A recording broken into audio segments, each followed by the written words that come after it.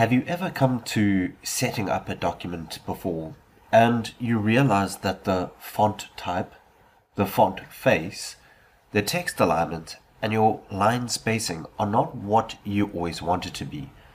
And you just wish you can have a default, especially for your university assignments, where they always require you to have a specific font, font size, how to align your text, as well as a particular line spacing.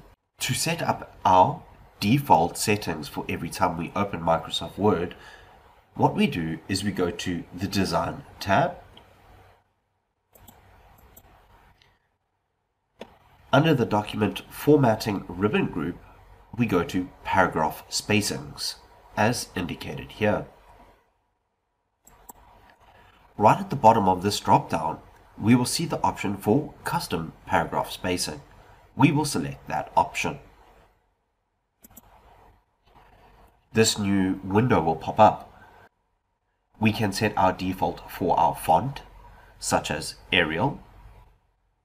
We can then select the font size, such as font size 12. We can also change our alignment as indicated here for most universities or any other form of formal documentation. Alignment is always great to be set at justified. And then lastly, we can look at our paragraph spacing, and in particular our line spacing. As we know, for those pesky university assignments, we always need to have it at one and a half line spacing. And before we accept these final changes, this last section down here, let us select the option for new document based on this template.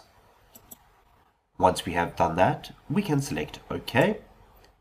And every time we open up a new document, our formatting of Arial font face, our font size to be 12, our alignment to be justified, and our paragraph or line spacing will always be one and a half.